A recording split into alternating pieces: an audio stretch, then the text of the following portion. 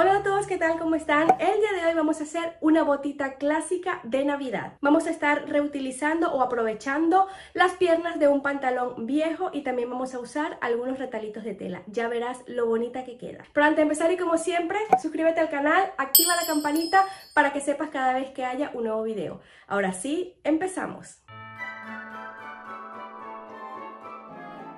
Para hacer esta botita navideña imprimí primero un patrón. Estos moldes lo puedes encontrar en internet. Hay un montón de modelos, puedes escoger el que más te guste. Este me gustó un montón, me gustó mucho la forma de aquí del pie.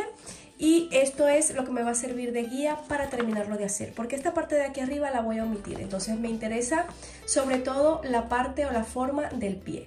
Entonces, para terminarla de dibujar, yo voy a medir desde el talón, yo le voy a aumentar 25 centímetros. Entonces, para terminar de dibujar mi patrón, yo voy a colocar una hoja de papel, mm, más o menos, sí, a esa altura.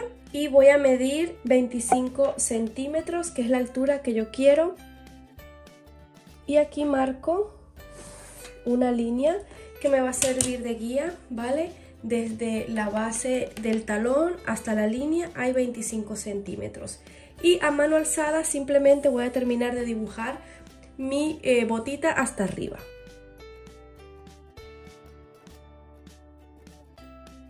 Y ya tengo la botita dibujada. ¿Vale? Ahora lo que voy a hacer es con eh, cinta adhesiva, voy a pegar estas dos, estas dos hojas de papel para que me quede en un solo molde y luego voy a recortar el patrón. Bueno, aquí ya tenemos el patrón preparado, nos ha quedado de esta forma. Ahora para cortar la tela, mira, yo voy a aprovechar las piernas de un vaquero, de un pantalón viejo para hacer esta manualidad. Lo que he hecho ha sido colocar mi patrón encima de la tela. La tela, por supuesto, colocada enfrentando los derechos, ¿vale? Como ves por aquí, enfrentando los derechos. He colocado el patrón, he marcado y he cortado la tela dejando un centímetro de margen de costura. Ahora, a mi, a mi botita, a mi calcetín, bueno, esto será un calcetín, le quiero hacer eh, por aquí marcar la parte de los dedos y la parte del talón. Entonces, para hacerlo me voy a ayudar de una hojita de papel. Lo que voy a hacer es eh, primero marcar la parte, mira, lo voy a hacer de este lado que se ve mejor. Voy a marcar eh, la parte de los dedos, la parte delantera del patrón y luego aquí eh, simplemente marco la zona donde quiero colocar el trocito de tela. Entonces voy a recortar esta zona y esto será el molde para cortar la tela. Voy a hacer lo mismo con la parte del talón.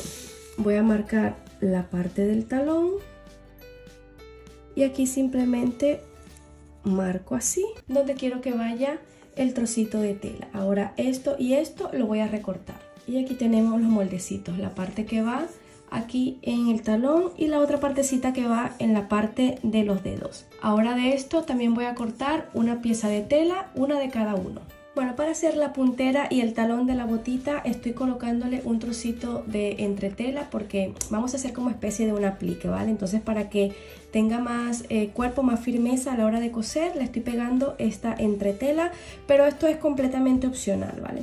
Colocarle la talonera y la puntera es opcional, así como es opcional si decides ponérselo, colocarle la entretela. Entonces, pues como mejor, como mejor te apañe. Estas dos piezas las he cortado también dejando medio centímetro de margen de costura. Ahora para la parte de aquí arriba, estas piezas que serán el doblez que haremos aquí arriba, vamos a apartar esto un momento. Esta pieza la vamos a sacar midiendo en nuestra tela, incluyendo los márgenes de costura. Vamos a medir el ancho de nuestra, de nuestra bota, la parte superior, y a ese ancho le vamos a sumar 2 centímetros. En mi caso, mi ancho tiene 13 centímetros y yo le voy a sumar 2 centímetros. Entonces el ancho de mi pieza tendría 15 centímetros por 8 centímetros que le voy a poner de ancho. lo puedes poner un poquito más ancho, un poquito eh, más, más estrecho como tú quieras. Yo le voy a dar un ancho de 8 centímetros. Ahora vamos a empezar a armar la botita. Bueno, a una de las piezas del calcetín, yo escogí esta porque tiene un color más uniforme ya le he colocado, eh, bueno, he posicionado las piezas del talón y de, la, eh, y de los dedos de la puntera. Entonces lo que voy a hacer es hilvanar para sujetarlo y solamente por la parte que se va a notar, por esta y por esta otra. Le voy a pasar una puntadita decorativa para que resalte. Bueno, ahora vamos a colocar eh, en las piezas que van en la parte de arriba. Entonces la vamos a poner así, con el derecho a la vista y esta otra así encima, también con el derecho a la vista. Y esto lo vamos a coser por aquí arriba y lo mismo vamos a hacer con este otro lado. Bueno, esto nos está quedando así, ¿vale? Esto va de esta forma. Ahora vamos a colocarlo enfrentando los derechos de esta manera.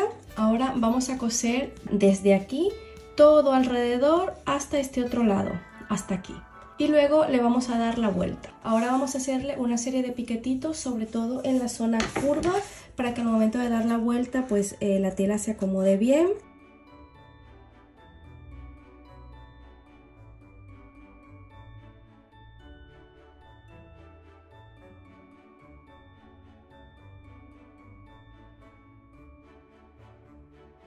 Y vamos a coser por allí para cerrar los laterales. Aquí tenemos que abrir bien así vale y vamos a coser por allí por el borde y hacemos lo mismo con este otro lado.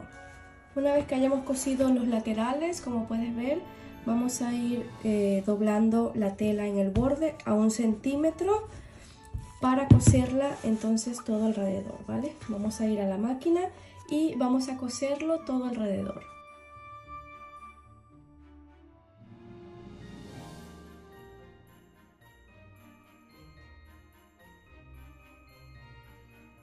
Ya está cosido aquí el dobladillo, solo nos queda pues girarlo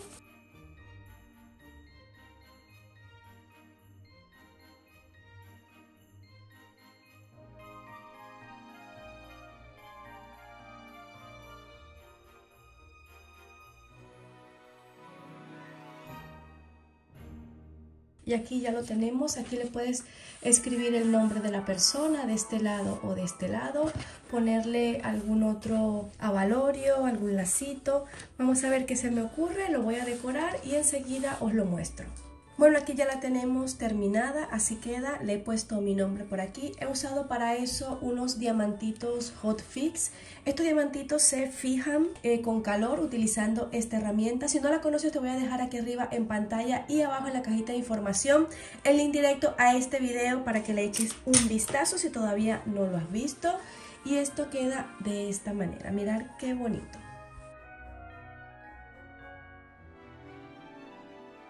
Si el video te gustó, házmelo saber con un dedito arriba, compártelo y déjame algún comentario. Suscríbete a mi canal si todavía no lo has hecho, haz clic en la campanita para que sepas cuando subo video. Yo por lo pronto te espero aquí la próxima semana con un nuevo video tutorial. Hasta entonces.